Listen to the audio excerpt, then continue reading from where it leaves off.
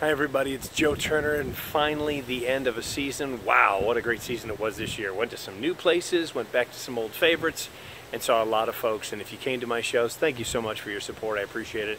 If you didn't have a chance to come to one of my shows, well, we'll try again next year, right? Meanwhile, enjoy your summer. Have a great, safe summer, healthy summer. I look forward to seeing you again next year. And by the way, there are some dates open for next year, so if you haven't yet done so, give me a holler. Let's get a date locked in for next year, okay? Have yourself a great summer. We'll see you soon.